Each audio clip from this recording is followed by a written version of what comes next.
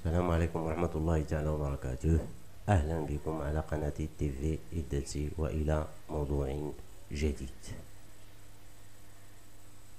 موضوع حلقة اليوم يتطرق للفرق بين التحولات الفيزيائية والتحولات الكيميائية والتحولات النووية وكيفية التمييز بين هذه التحولات الثلاث سنبدأ أولا بماذا نعني بتحول تحول المجموعة هو تحول من حالة بدئية إلى حالة نهائية. أن تكون لدينا آه، مجموعة في حالة بدئية ثم تتطور إلى حالة أخرى تسمى بالحالة النهائية وكل حالة تتميز بمجموعة من المقادير التي تميز آه، المتغيرات التي تحدد حالة المجموعة في كل حال. لأن المجموعة بالنسبة لنا قد تكون إما جسم صلب أو جزء من جسم صلب من أجسام ذات أبعاد صار متناهية في الصغر إلكترون نوترون نواة ذرة إلى آخره. وقد نتحدث كذلك عن أجسام ذات أبعاد كبيرة الأرض القمر وكل ما يوجد بين هذين آه، الحدين.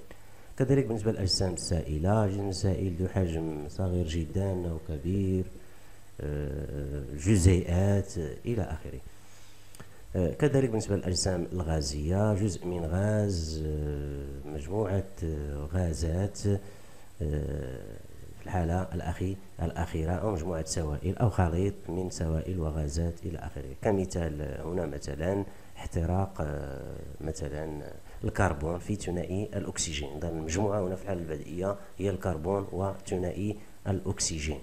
يعني ثم في الحالة النهائية آه، سنحصل بطبيعة الحال على مجموعة في حالة آه، أخرى.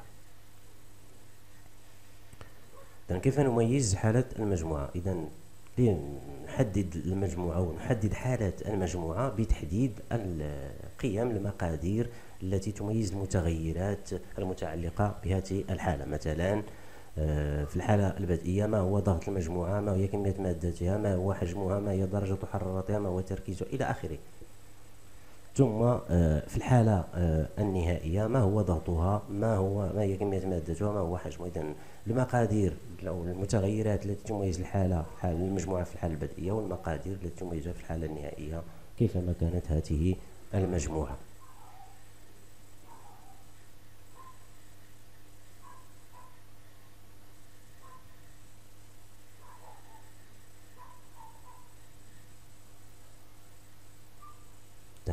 الآن نعني بتحول مجموعة. باختصار تحول مجموعة آه، هو تطورها من حالة بدئية إلى حالة نهائية بحيث الحالة النهائية تخالف الحالة البدئي البدئية.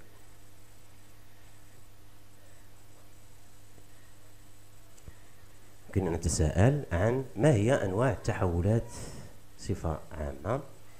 التحولات يمكن أن تكون فيزيائية يمكن أن تكون كيميائية يمكن أن تكون نووية. لكن سؤالنا المحوري حول لهذه الحلقة هو كيفية التمييز بين هذه الأنواع.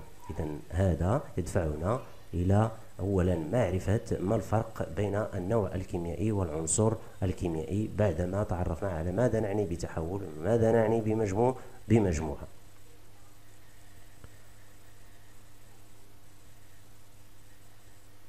شيء أساسي هو التمييز بين النوع الكيميائي والعنصر الكيميائي. لأن كتعريف النوع الكيميائي شنو كنعنيو به؟ مجموعة ديال الوحدات. هذه الوحدات يمكن تكون ذرات يمكن تكون أيونات يمكن تكون جزيئات لكن شرط أن تكون كلها متشا متشابهة فيما بين فيما بينها وتمثل بنفس الصيغة نأخذ مثال. مثلا الماء كنوع كيميائي. إذا يتكون الماء الخالص بطبيعة الحال يتكون من جزيئات الماء. من جزيئات الماء. إذا نفس الوحدات اللي هي جزيئات الماء. فنقول نتحدث هنا عن آه، النوع الكيميائي الماء.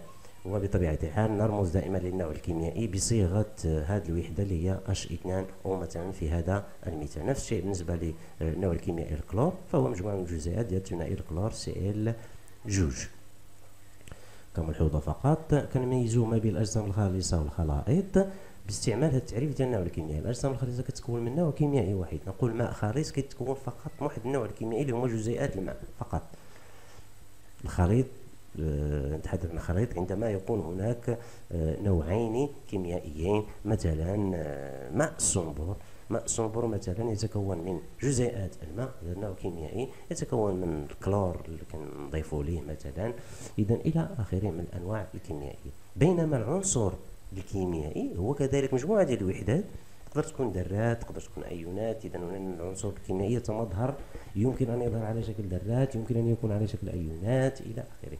لكن الشرط هو هذه المجموعات تتميز بنفس العدد الذري يعني نفس عدد البروتونات الموجودة في نواه نواتها. كمثال إذا أخذنا آه، فلز الحديد أو أخذنا محلول مائي لكبريتات الحديد الثاني عفوا هنا كتبت كبريتات النحاس أو في مثلا ال hémoglobine في كل هذه الأجسام نجد عنصر الحديد Fe إذا فلز الحديد في Fe أيونات الحديد الثاني Fe 2 زائد وكاين عندنا كذلك Fe يدخل في تركيب الجزيئات ديال ال hémoglobine آه، في الكريات آه، الحمراء. اذا يمكن أن يتمظهر لنا على شكل ذرات على شكل أيونات أو مكون من مكونات جزيء جزيئه اذا في كل حالات الثلاثه فنحن نتحدث آه، هنا عن آه، عنصر الحديد Fe اذا سواء في ال hémoglobine أو في محلول كبريتات الحديد Fe 2 زائد أو في آه، فلز الحديد نجد كل هذه الأجسام الثلاثه فكلها تتكون أو يدخل في آه، تركيبها وحدات آه، اللي هي كتميز بنفس العدد الذري Fe نفس العدد الذري اللي كان عند Fe 2 زائد إذا في كل هادو كنقول بأنه كاين عنصر آه، الحديد وكتكون يدخل في تركيبها عنصر الحديد Fe اذا بالنسبة لنا إذا أردنا أن نفهم جيدا المقارنة ما بين العنصر الكيميائي والنوع الكيميائي. إذا كنا بصدد مجموعة تحدثنا فيما قبل ماذا يمكن أن تكون هذه المجموعة يمكن أن تتكون من نوع كيميائي واحد وهذا النوع الكيميائي الواحد يمكن أن يتكون من عدة عناصر كيميائية أو يمكن أن يتكون من عنصر كيميائي واحد. إذا أخذنا مثلا المجموعة آه، هي غاز ثنائي الهيدروجين. إذا كاين هناك نوع واحد H 2 الهيدروجين. ثم كاين عندنا عنصر واحد اللي هو عنصر الهيدروجين الذي يدخل في تركيب آه، ثنائي الهيدروجين والذي يكون ثنائي الهيدروجين. إذا اخذنا المجموعة مثلا الماء H 2 O عندنا نوع كيميائي واحد H 2 O جزيئات الماء ولكن عندنا عدة عناصر كيميائية تدخل في تركيب هذا آه، النوع. لدينا عنصر آه، الهيدروجين وعنصر الأكسجين. يمكن كذلك للمجموعة أن تكون عدة أنواع كيمياء. كيميائية. مثلا إذا أخذنا مجموعة مكونة من الكربون وثنائي الاكسي الأكسجين. إذا عندنا هنا نوعين كيميائيين وبطبيعة الحال عندنا آه، عدة عناصر كيمياء كيميائية. بالنسبة للكربون كاين عنصر الكربون آه ثم بالنسبة لنوع الكربون كاين عنصر الكربون ثم بالنسبة لثنائي الأكسجين كاين عنصر الأكسجين.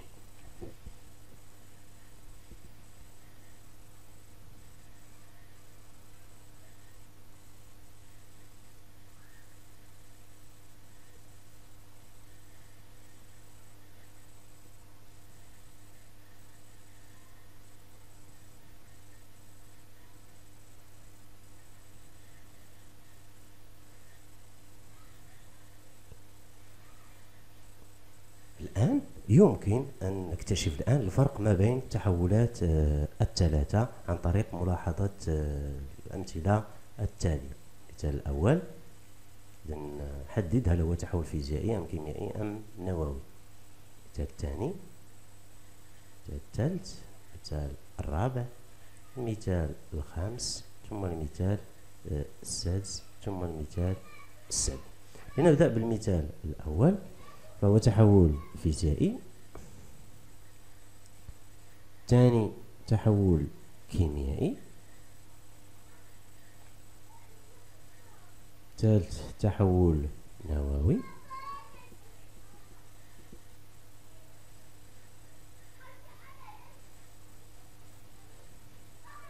تحول فيزيائي. تحول كيميائي. تحول نووي.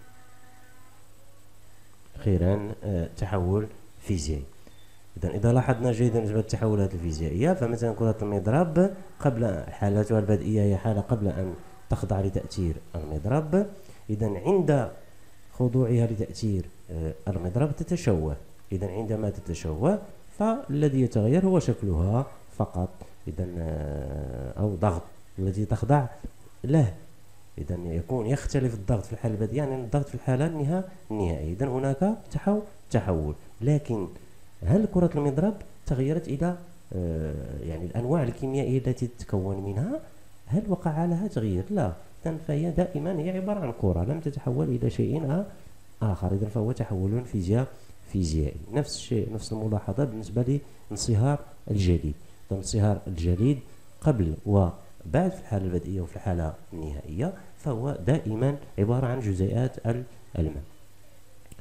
بالنسبة للمثال ديال احتراق غاز غاز البوتان اذا فغاز البوتان في الحالة البدئية عندنا غاز البوتان وثنائي الاكسجين في الحالة النهائية كنحصلوا على ثنائي أكسيد الكربون والماء في حالة احتراق كامل. اذا هذا التحول وقع فيه تغيير في آه النوع الكيميائي. كان عندنا جوج الأنواع وفي الآخر حصلنا على نوعين مختلفين. نوعين في البداية كانوا هما آه البوتان وثنائي الأكسجين وفي الحالة النهائية كان عندنا الأنواع اللي هي الماء وثنائي أكسيد الكربون. إذا هناك آه اختلاف في النوع الكيمياء الكيميائي.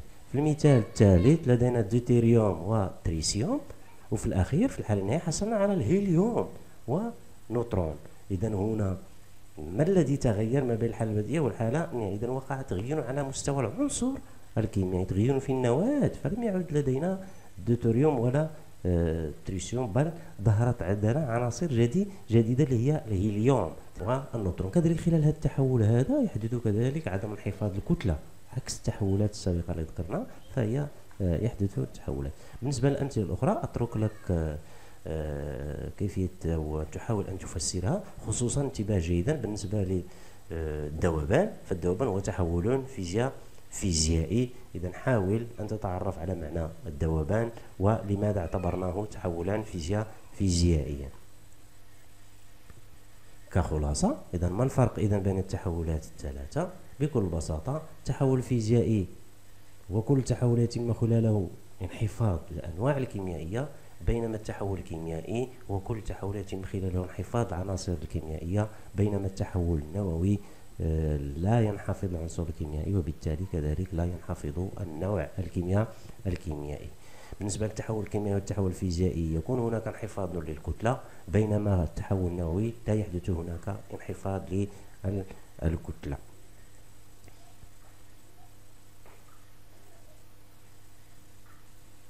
شكرا على آه، انتباهكم. آه، لا تنسوا الاشتراك في قناتنا لتشجيعنا لإنتاج المزيد.